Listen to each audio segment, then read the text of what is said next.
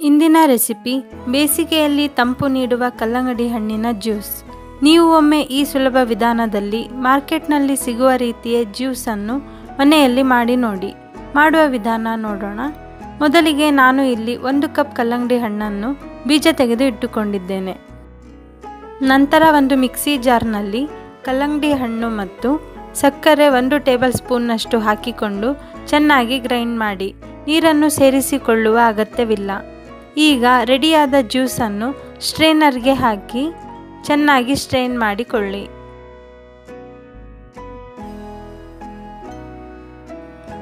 ಇದನ್ನು ಎರಡರಿಂದ ಮೂರು ದಿನಗಳವರೆಗೆ ಫ್ರಿಜ್ನಲ್ಲಿ ಸ್ಟೋರ್ ಮಾಡಿ ಇಡಬಹುದು.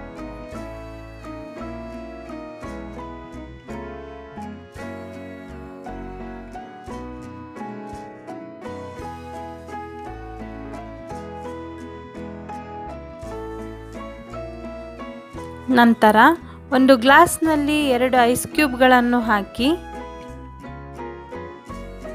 ಸ್ಟ್ರೇನ್ ಮಾಡಿಟ್ಟುಕೊಂಡಿರುವ ಜ್ಯೂಸನ್ನು ಹಾಕಿದರೆ ತಂಪಾದ ನ್ಯಾಚುರಲ್ ಜ್ಯೂಸ್ ರೆಡಿ. ಈ ರೆಸಿಪಿ ನಿಮಗೆ ಇಷ್ಟವಾಗಿದ್ದರೆ ಲೈಕ್ ಮಾಡಿ, ಶೇರ್ ಮಾಡಿ, ಕಮೆಂಟ್ ಮಾಡಿ. ಹೊಸ ರೆಸಿಪಿಗಳಿಗಾಗಿ ನಮ್ಮ ಚಾನಲನ್ನು ಸಬ್ಸ್ಕ್ರೈಬ್ ಮಾಡಿ.